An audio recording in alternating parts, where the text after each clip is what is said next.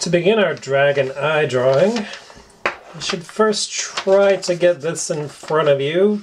Either print out this handout in the lesson materials or get it on a screen in front of you so you can decide which kind of style you're going to choose for your dragon eye.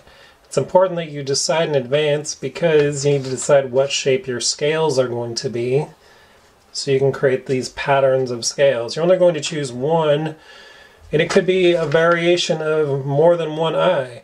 You could have this scale pattern and maybe the inside of your eye looks like that. Or maybe it looks like that. Today, for my demonstration, I'm going to be focusing on this kind of scale pattern design. But I think I am going to use the middle of this eye because I just like the way it looks. So to get started, we need to make a big circle in the middle of, of our paper. Now, when I say big, I mean big. Like, it needs to be like this big in the middle of your paper. This is a bowl from my kitchen. If you don't have anything to make a circle with this big, if you have a bowl from your kitchen about this size, it would work perfectly. But if you don't have anything, you could just freehand a big circle. I'm going to use the bowl since I have one. You need to get a circle in the middle of your paper about this size doesn't have to be a perfect circle, so you could freehand it as long as it's pretty close. It's good enough. Some of it's going to get erased anyway. It's just to give us a, an indicator of size so we get everything in the right place. So after we get that finished, we're going to make a mark about halfway on each side of the circle. We're going to use those marks to determine where our eyelid is going to go. So we're going to start at this mark and make a curve all the way over. Now I'm drawing the one type of dragon eye, this one. So the, your, the shape of your, of your eye might be a little different, might be slanted differently. Like for this eye, you'd want to start the shape to go more like this way. Mine's more kind of straight across this curve. So I'm making a curve this way. And I will do the same thing on the bottom. Make a big long curve going this way. So imagine this is the eyeball and we're putting an eyelid on it. You notice I'm making a lot of scruffy line, sketchy line, working out where I want that curve to be. Okay. So now that we have this, I'm going to extend this line out a little bit this way. Both of those lines. I'm going to extend this one a little bit this way.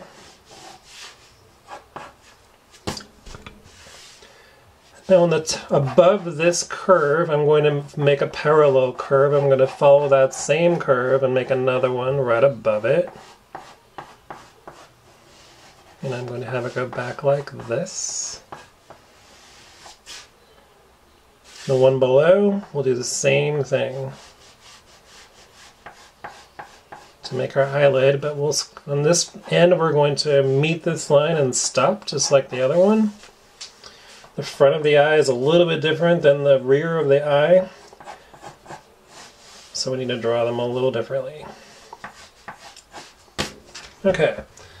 So now we have the kind of the basic shape of the eyelids. Now I'm going to draw the pupil inside of the eye. Now I said I was going to use this design instead of this because I think it's a little more exciting. I'm going to start by making a line right in the middle. And then on either side I'll put a curve like this on either side of that line, about in the middle, in the middle of the eye. And now I'm going to start at these little tips of these lines and I'll make a curve going to the top. I'll do the same thing going to the bottom. And then I can take my eraser and I can erase the middle of this, this line. Inside of this eye is going to have some little spaces in it, so I'll go ahead and draw those in. Now, a lot of times with dragons and fantasy creatures, sometimes they have a second eyelid. Like sometimes you see the dragon opens his eye this way before he opens it this way. So I'm going to put the beginning of a second eyelid in the front and back of the eye, and I'm going to put some lines to give it some uh, visual interest to make it look like maybe the eye that eyelid is folded up a little bit and it could go this way but it's but it's open right now. Okay. So our next step is to begin drawing our scales but before we do that we actually should get rid of this curve at the top and bottom because we don't need them anymore. And they're going to get in our way when we go to draw our scales. They were just to tell us, this circle was just to tell us about how big our eye should be and to give an indicator of the shape of it so we could get the eyelid in the right place. Now that we've done that, we don't need all that line anymore. So now we have this. This is the front of the eye. I'm going to put a little thing here in the like the tear duct right here in the front of the eye. Okay, now it's time to start drawing scales. Because I'm doing this, my scales are going to be kind of an angled, kind of an angled curve going backward. And the scales closest to the eye are going to be smaller. So I'm just going to start making these angled bumps going back across the entire top of the eye.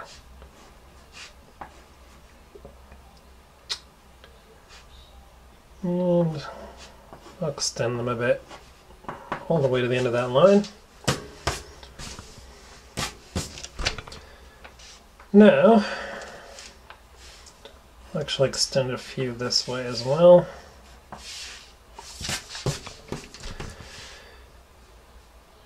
Now I'm going to when I create the next row of scales, I'm going to take, I'm going to make them the size of two scales. I'm going to make them larger. So I'm going to start at the end of this scale, come up, and drop it right at the end of the next scale. I'll do the same thing all the way across. Starting at one scale, coming over two scales, and putting it at the end. Starting there, ending there. Starting there, ending there. Starting, ending, starting, ending. We'll put another scale there. We'll put another little one right here. We're not going to be running the design all the way to the end of the page like we did back here. It'll stop. I mean, if you could, you could add extra scales and finish it off if you want to. Okay, so now that we have this established, for the next scale, we're going to make a mark right in the middle of each scale. Right in the middle, and that's about the middle at the edge of the page. And I'm going to start one over here. So I'm going to make a bump and end it here. Now I'm going to start here and end here. So I'm staggering the scales, so now this scale is in between these two. I'll do this. I'll do the same all the way up. I like that line very much. Let's fix it. I'm gonna come up a little higher. Drop it there. Starting there. Come up. Dropping it there. Starting there. Dropping the line there. So I'm making consistent scaly pattern. Starting there, dropping it there, starting there, ending there going off the page. Do the same thing again. One more time anyway on these. Starting here, dropping it there. Starting here, ending there. Now you're going to do any scales you do, you'll have the same. You'll be using the same theory. You'll be putting a row of, a row of scales, and then in between those scales, you'll be putting the next scale. Okay, just like you're doing here starting there, ending there. So now we're in between these two scales. Starting here, ending here. This is in between these two. Starting here. I'm going to jump one there. Normally I'd, I'd end it there, but it seemed like it'd be a very small scale, so I went ahead and jumped over. Now, the bottom of the eye is the same deal.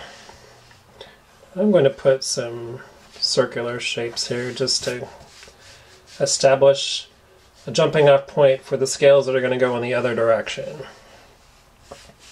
First thing I'm going to do is I'm going to make a row of small scales on the bottom of the eyelid just as I did on the top.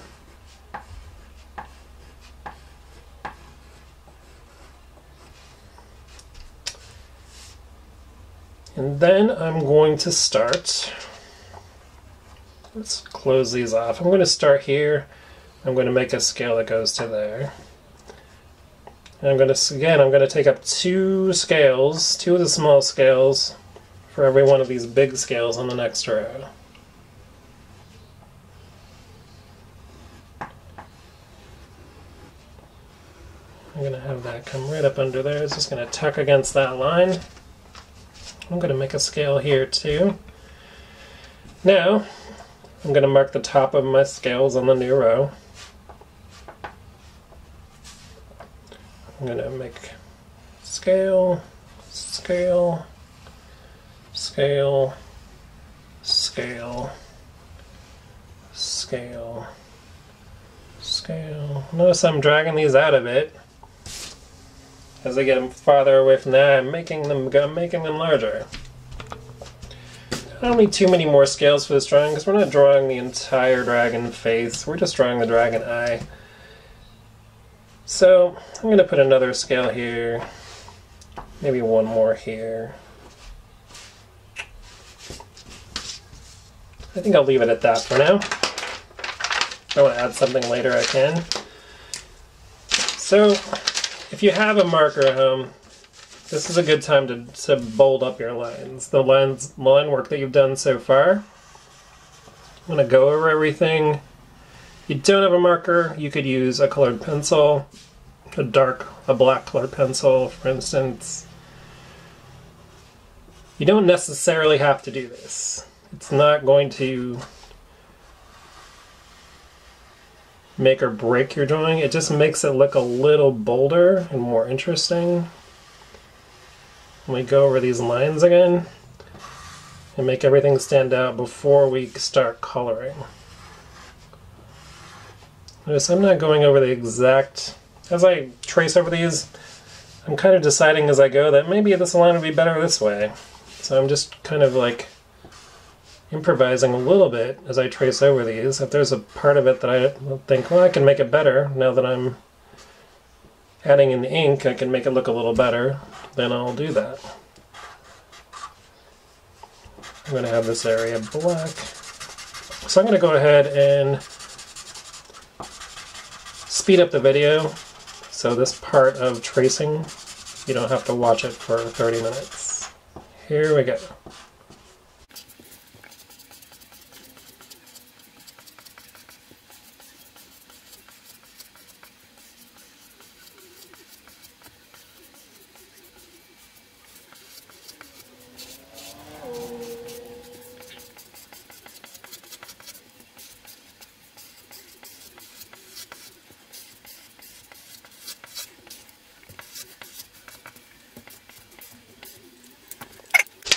Alright, so we have a pretty well-drawn dragon eye.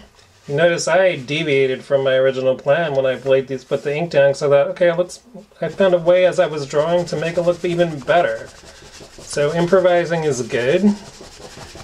You can change things as you go. Erasing some extra lines before I start talking about color to get them out of our way.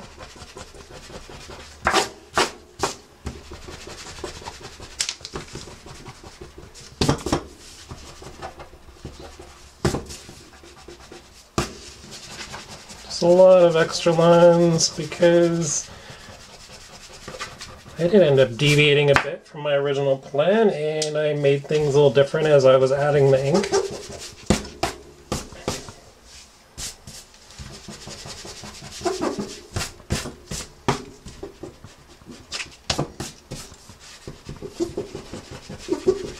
And that's okay. We should be able to change our mind as artists as we go, make things better. Sometimes we make them worse when we change our minds.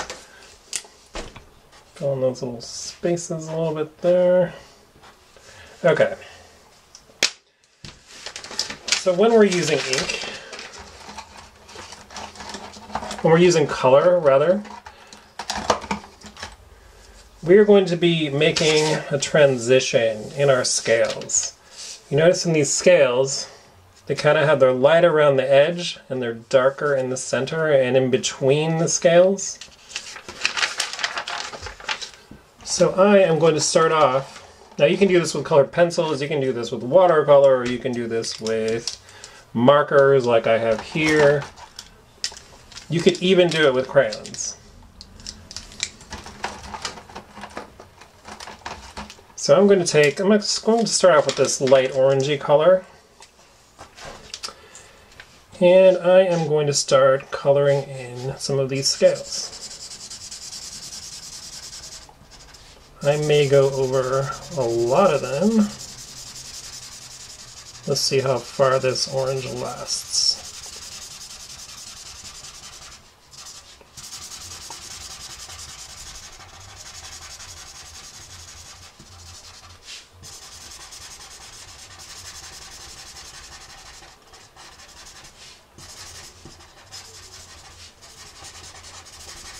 I'm just going to do these first, this short row of scales and the one right above it so I can show you the process of making this look more dimensional with color. Now if you don't have any color at home, you could use shading with your pencil to get a nice, interesting effect. So now I'm going to take a darker, slightly darker color, And the scales are going to get filled in, except for the edge of the scales. I'm just putting it in the center of the scale.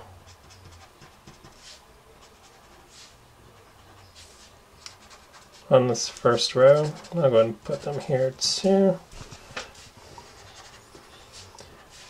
As you can see, it's already making the row of scales stand out a little nicer.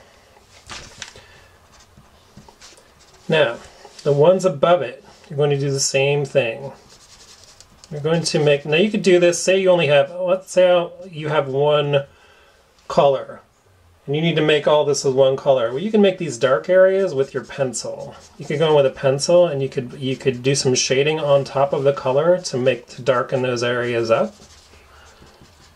Let's say, oh, I want to make um, I want to make red scales, but I've only got I've only got red and orange. I don't have two shades of red. Well, it's easy. Make the make orange is lighter. Orange is going to be lighter than red, so you make the scale orange. So just the edge of it is orange and most of it is red. You'll get the same dramatic effect as this.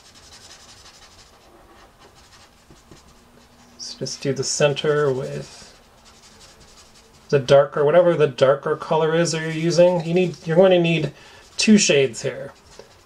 Whether if you're doing it in black and white, you'd be going over everything lightly with gray and then going over it again in these areas with a darker with a darker gray.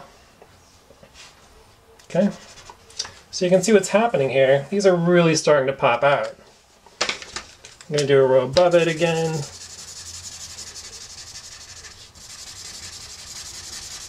Continuing on. The markers work really good for this because they're fast. Watercolor would work really fast too. You have to be a little more careful about the bleed factor if you're using watercolor. Colored pencils, you can get the same impact, same effect. It's just going to take a little longer to lay it down. I'll do one more row of this. So again, I'm getting down in between the scales. Okay, I grabbed the wrong one. Yeah, it's a little bit darker than I wanted. Back to the one we were using. So I'm just leaving the edge, that original lighter color.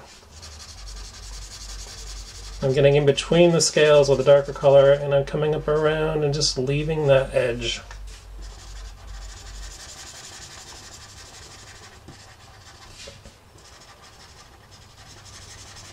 All the way across the same way.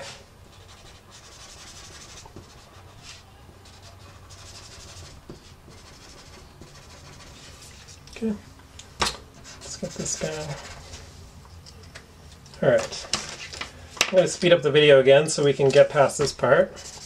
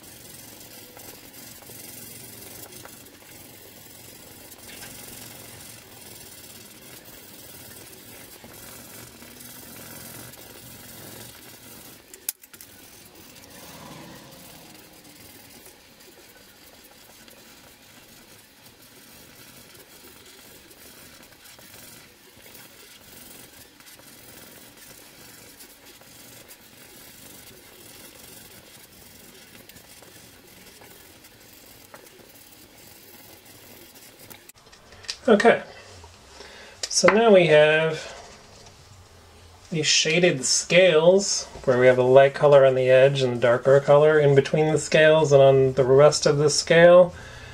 Really gives it a sense of dimension, makes them pop out. It's really not that hard to do, it just takes a little work, a little time, but it's completely doable. Okay, so for the eyelid, I'm going to go in with a little bit of orange.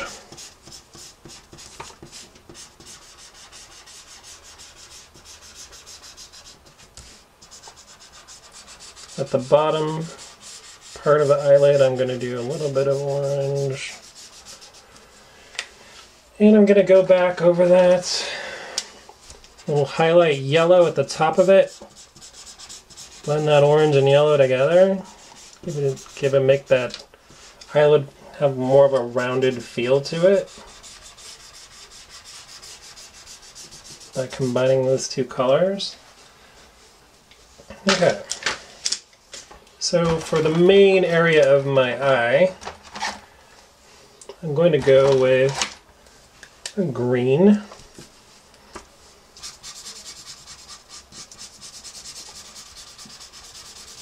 I'm to leave a little bit of white space right around that center thingy because I think it'll look interesting.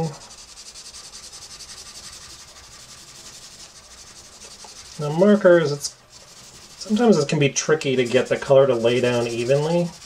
Colored pencils are a lot better for that sort of thing, especially in a big area like this.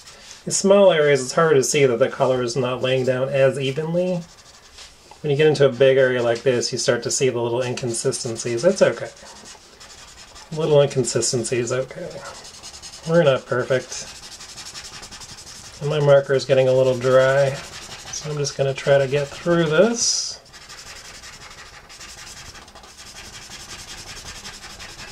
Time for some new markers.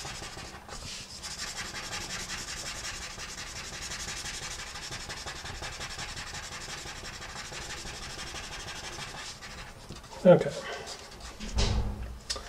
So, let me decide what color this is going to be. I'm going to get in there with a couple of different shades of this pink looking color. First I'll go over it lightly with this, get a light color in there. Now, if you don't have all these colors, it's okay. You could use like a like a you wanted to go with these colors, you could just use a red colored pencil very lightly to get a pink. I'm going to go back in with another color just to set it off a little bit.